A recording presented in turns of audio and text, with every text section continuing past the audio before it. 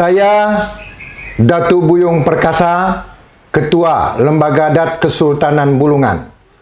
Selamat ulang tahun Tribun Kaltara yang kedua.